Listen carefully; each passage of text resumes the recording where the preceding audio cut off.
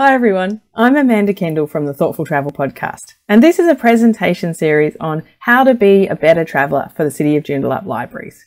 As COVID 19 travel restrictions start to lift, it's a great time to think about how to travel more thoughtfully, and this series will help you do just that. This presentation is about how to be an authentic traveller, and it includes tips, stories, and resources to help you do that. First, let me tell you what I mean by being an authentic traveller and how I learnt to love this way of travelling. So, when I was 14, I was super lucky and able to spend a month in Germany as part of a school language trip. It wasn't billed as quote unquote authentic travel, which probably wasn't even a phrase back then, I guess, but looking back, it really was authentic, and that's one of the reasons I really loved it.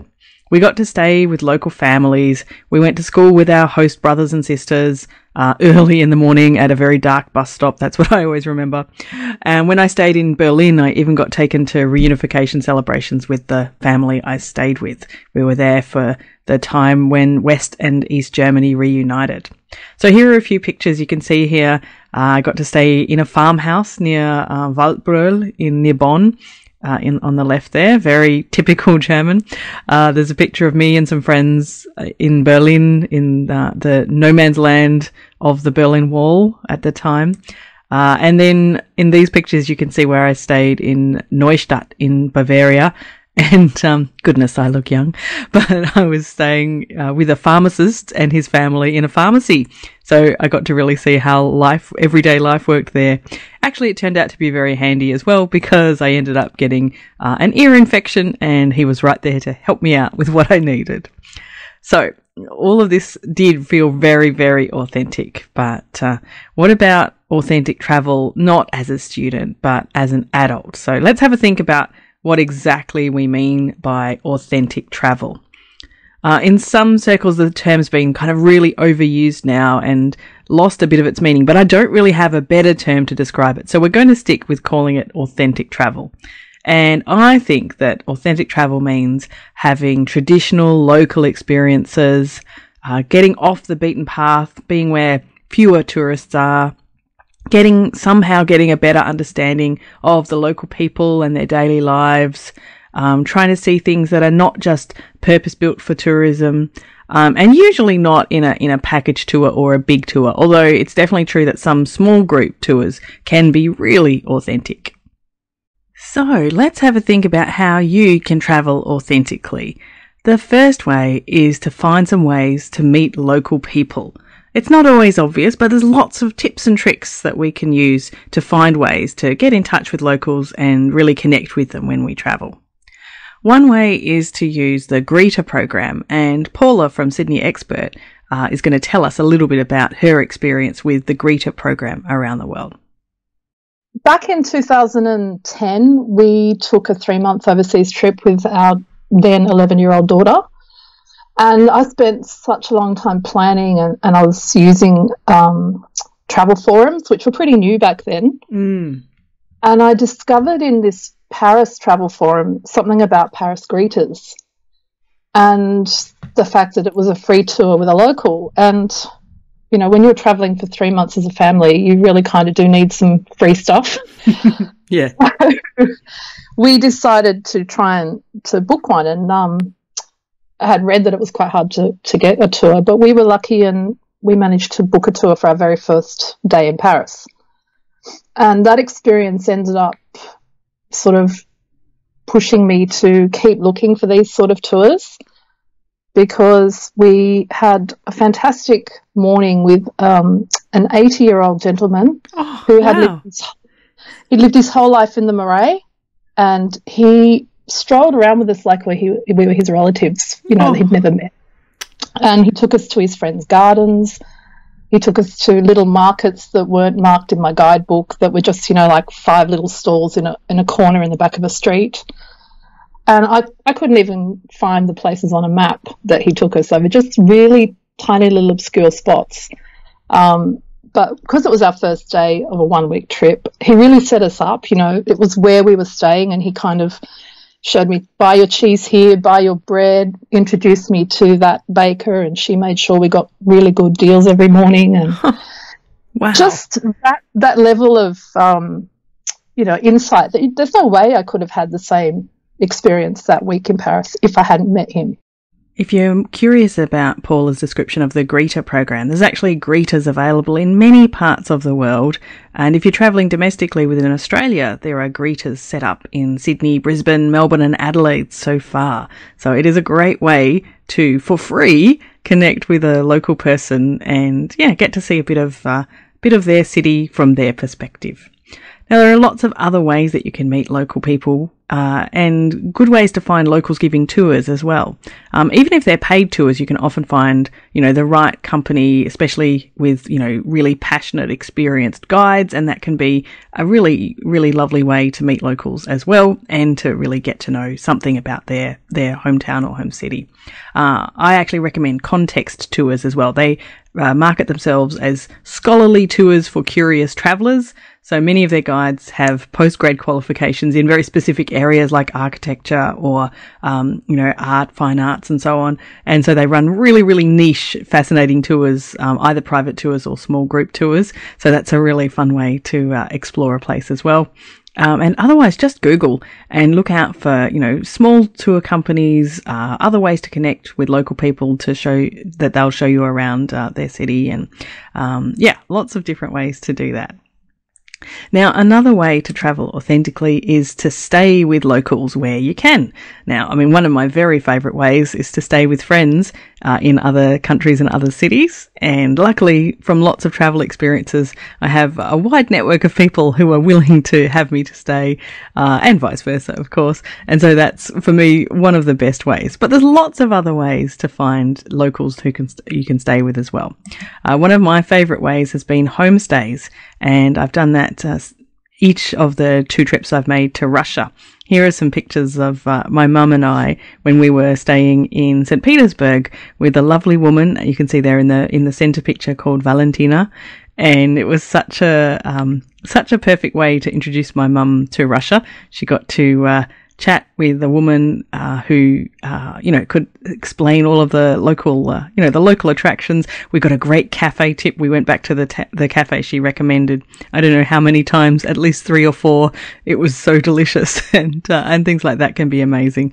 Across Russia, I got to stay in some really interesting homestays with um, with widows, with families, uh, with all kinds of uh, interesting locals, and it's definitely a um, a very different way. I always remember my very first homestay in Russia, uh, landing in Vladivostok in the in the far east of Russia, and we were there in summer, but we entered the flat and we could see all of these thick, thick, thick fur coats, things like I had never imagined. And she said, yes, quite often the electricity goes out and it will be minus 30 degrees. So we need these coats. I'm like, oh, I'm glad I came in summer. So, but that was an insight that I wouldn't have had in a regular hotel or somewhere else to stay. So, uh, I think that that was well worth the effort. Uh, it's a great way to, to get to um, know the local place. So any other ways you can stay with locals?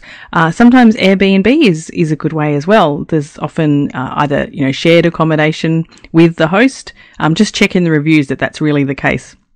Sometimes it's advertised that way, but in the reviews you can tell that um, actually they don't really live there, and it's just a kind of a you know it's more of a business than anything. But if the reviews say you know it was great to spend time with the host and that kind of thing, then you can know uh, when I was in Denmark last year, I got to know several fabulous uh, Danish locals by staying uh, they in their apartments or in their um, one had a converted basement, so we had quite a separate area, but we got to chat to them each day as well. That was perfect for me because I do like to have my private space, especially when I'm traveling with my son. But uh, great to get to know them as well. Um, home exchanges can be another interesting way to meet locals. You might not meet the locals you're home swapping with, but you often get to meet their neighbours and stay in a really local area where you're likely to get to know them. And also couch surfing. So if you don't know about couch surfing, it's an um, incredible setup, actually. It's been going for, I think, nearly 15 years, based on a website where people uh, offer up, you know, so to speak, their couches, you know, anything spare in their house where you can come and sleep for free. It's, um, you know, based on a um, kind of a, a spirit of spirit of exchange. You know, if you travel somewhere then you can stay and, you know, you'll happily have people come and stay with you as well. So actually, I now have a little extract from Craig and Linda from the Indie Travel podcast who talk about some of their couch surfing experiences from around the world. We have lots about staying with locals. We we are huge fans of couch surfing. We um, we didn't really get into it until that, that trip to Chile. So we we travelled for about three years, and we went back to New Zealand, and we learned about couch surfing. We were back in New Zealand for a year, and we thought, well, why don't we try this? We'll give it a go. I think we've done it once, and uh, we basically booked most of our trip in Chile all through couch surfing, and it was spectacular. Couchsurfing's been really good to us, and the way that we travel, we often go somewhere for uh, a few months at a time. And so, couchsurfing is a great way for us to get into a city, stay with locals, uh, help. Uh, have them help us to kind of get oriented, mm-hmm. and quite often they're more than willing to tell us that an an apartment over here is a terrible idea, or you probably want to stay in this area. And so that's been a really useful way, uh, as a practical example of how we can uh, get under the skin of a city mm-hmm. quicker and, and more easily than yeah. we would if we were just kind of booking something on Airbnb before we arrived. When we were moving into, we were traveling around Spain and we were going to be in two places for three or four months each. Both times we we stayed with a couch surfing host for the first three or four days, and then we moved into an apartment. And it was absolutely brilliant. In Jerez, um, particularly, we stayed with this, this couple called Anna and Diego, and then we moved into our apartment. And Anna and Diego stayed our friends, and they're still our friends. They came to visit us when we were staying in Berlin, and, and we've seen them in Madrid. So we're, we're still friends with them, and I think that's really great. Another way you can travel authentically is to take some classes when you're traveling. There's lots of different options, uh, and I've done quite a few different kinds of classes as I travel. Here's a couple of examples. This is when I was visiting Cambodia and I was in a, a village outside of Siem Reap and the local group there took us through a cooking class. And it was great because it was just the kind of food that they eat regularly. It wasn't, um, you know, very fancy and, uh, and difficult. It was uh, something we cooked together outside and then we all ate together, the people from the village and, and the group of us who were visiting as well. That was both delicious and just so lovely because we got to, you know, kind of chat and we had, you know, often some language barriers. We had a couple of people there who could translate, but you know, we also managed to communicate despite the language barriers. And they would uh, tell us what to do, how to chop uh, what vegetables in what way and so on. Uh, and it was just a really, you know, just a really lovely way to really get to know uh, what their daily life was like.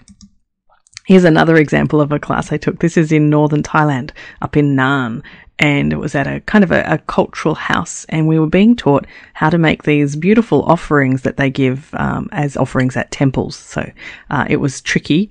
As you can see, lots of concentration involved, but uh, it was just a delightful morning as well. So that was something really fun, something I wouldn't have even thought of um, without, you know, finding out about it while we were there. But that was a lot of fun. Uh, and cooking classes probably are some of the most common classes that people take because, you know, you get to eat something as well. And what a great thing to be able to take home, the ability to cook something from um, another culture. So here I have Eva from Not Scared of the Jet Lag. I found um, a website uh, of a place called Beit Sitti, which means my grandma's house.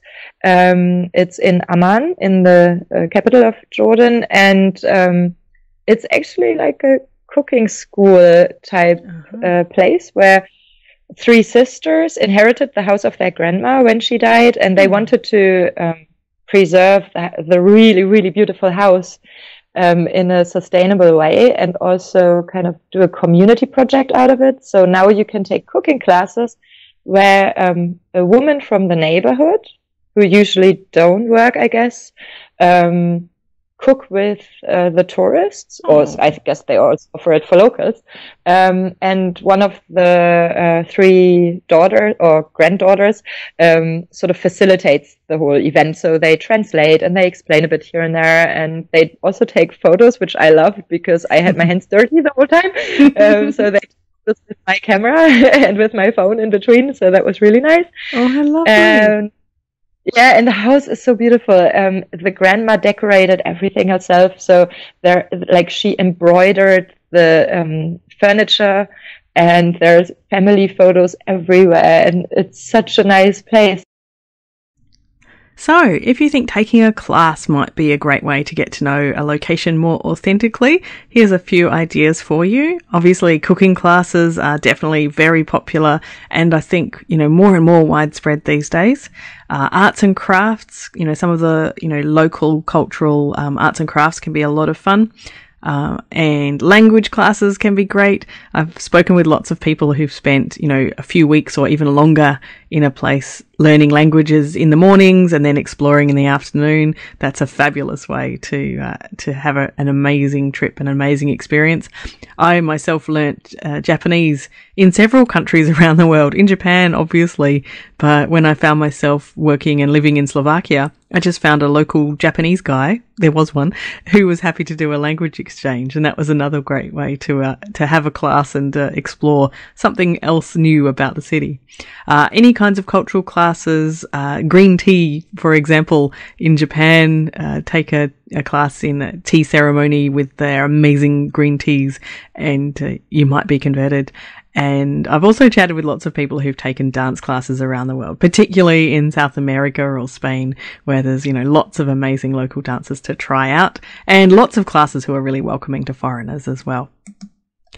So if you are thinking, yes, I really want to try and travel more authentically, these are my main tips. First of all, do some research. The best way to have an authentic travel experience starts before you leave and involves, you know, hanging around on the internet and searching for the kinds of things that you think might be interesting. Make some personal connections if you can. There's lots of ways to do that, uh, both before and during your trip. And you might also want to consider the idea of slow travel. There's another video in this series that talks about slow travel. So you might want to look at that too, because I think spending longer in fewer destinations definitely leads to a more authentic experience. And remember too that authentic doesn't mean it has to be traditional. Uh, it doesn't have to be, you know, the old uh, customs and habits. It can also be how people typically live today and uh, experiencing their everyday life, which might be surprisingly similar to your own, or it might be really different. Have a think about how you could be a more authentic traveller on your next trip. With a bit of research and preparation, you can really dig deeper into a destination and have a much richer experience for it. This applies equally whether you're travelling abroad or domestically within Australia as well. Happy travels and thanks for watching.